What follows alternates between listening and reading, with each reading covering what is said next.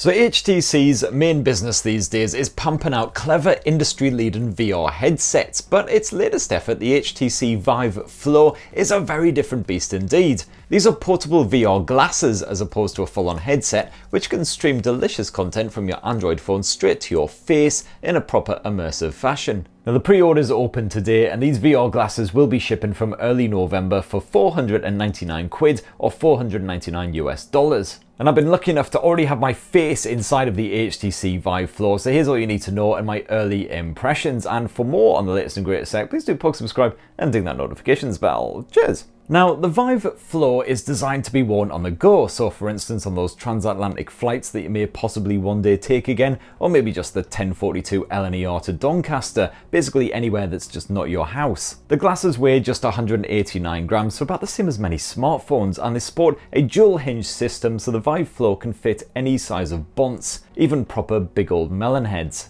A snap-on fabric face cushion helps to provide some extra comfort while also blocking out light and the outside world in general, so you can't see fellow commuters silently judging you and your fancy weird eyewear. At first, wearing the Vive Flow did feel a bit weird because unlike normal glasses, they don't rest on your ears, they just kind of grip your head in a kind of loving hug. But after a while, I kind of adjusted to it, got used to it, and certainly no part of my facial region was aching after around an hour and a half of use. Of course, the true test will be really testing them out cross country on some sort of long journey to see if you can literally wear them all afternoon long without any discomfort. And of course, because this expensive bit of tech is designed to be taken out and about, you'll probably want to get some sort of protective case for them. The good news is the HTC will actually bundle one with the Vive Flow if you pre-order it. The LCD screen offers 1.6K resolution per eye, so 3.2K res overall, with a 100 degree field of view. So it's not quite as wide as the likes of the Vive Pro 2, but it's not far off. Display quality seems to be well up to any VR task out there,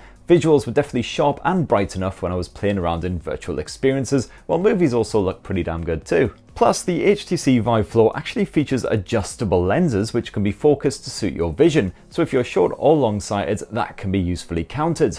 My left eye in particular is proper balked and the Vive Flow's focusing absolutely dealt with that no problem whatsoever. So you can wear these things and uh, use them comfortably without having to rock glasses or contact lenses at the same time. And as with HTC's more premium VR sets, you get some immersive spatial audio pumped out from the stereo speakers which are actually built into the Vive Flow's arms. While twin mics housed on the front of the Vive Flow help to provide a level of noise and echo cancellation. I did find that those speakers were certainly up to snuff when it came to the various VR experiences that I tested out, and there wasn't much bleed uh, to people who were sat nearby either, which is always a good thing if you're going to be rocking them on trains, planes, etc. Though that said, I did find that actiony smashy movies from the likes of Marvel did sound a little bit flat through those speakers. And of course you can hear everything that's going on around you at all times as well, so good for awareness, but if you do want true immersion, you're going to want to hook up some headphones. There's no headphone jacket, unfortunately, on the Vive Flow. It's going to use a bit of Bluetooth instead. Of course, without any actual content, these glasses would just be a slightly bizarre fashion statement. To get them to actually do stuff, you will want to pair them to your phone via Bluetooth and then use a bit of Miracast magic to stream your apps. You actually use your smartphone as a controller slash pointer type thing to get your way through the various VR menus and also control your VR apps and experiences as well, and it works really well. Obviously, your control is quite limited to basically just pointing and tapping on the screen and uh, occasionally swiping if needed as well, but that's about it. And to be fair, the VR experiences I tested out, that worked absolutely flawlessly. At the face-on experience with the Vive Flow, I got to play a game where you murder scurvy pirates with cannonballs, one of those very simple but infuriatingly addictive affairs. I also got the chance to kick back with some Disney Plus action as well. You can basically stream all of your usual video content from your phone straight to your face in the cinema mode, which ably recreates that big screen experience, except obviously without teenagers sitting next to you on TikTok the entire time, talking at each other, using words you don't understand because you're hideously old now. An Alice Through the Looking Glass experience was next, which would most likely be best enjoyed with the kind of pills that your granddad probably doesn't take, or at least not anymore.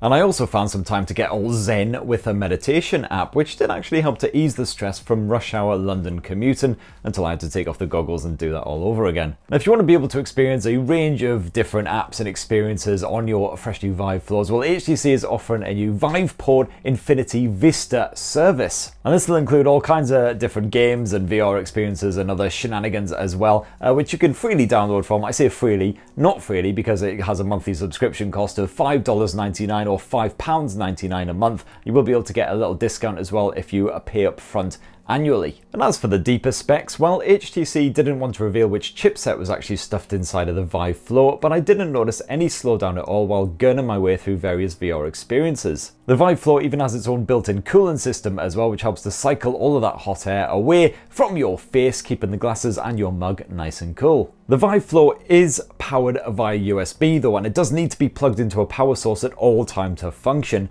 There is a tiny built-in battery, so the glasses won't immediately switch off if that cable comes loose or whatever, but that'll only last you a very short time, enough time to basically flash up a warning so you can get plugged in again. Just have it plugged into a uh, laptop USB port, that would work just fine, a battery pack, or even your phone itself, although uh, HTC does reckon that a 10,000 mAh battery pack will be fully drained in about 5 hours, so if you do hook up to your phone, probably going to sap that juice pretty damn fast. So right there is my early face-on review of the HTC Vive Flow. As I say, coming early November for 499 US dollars, 499 Great British pounds. Yeah, quite pricey for sure, but if you do want a portable VR uh, machine to take wherever you roam, then certainly it's definitely one of the lightest, most compact options out there. And hopefully be well supported uh, via the Viveport Vista, whatever the it was. So that's what I think, but you fine folk at home reckon? Definitely be great to hear you down in the comments below. Please do poke subscribe and ding that notifications bell for more on the latest and greatest tech. Have yourselves a fantastic rest of the week. Cheers everyone, love you!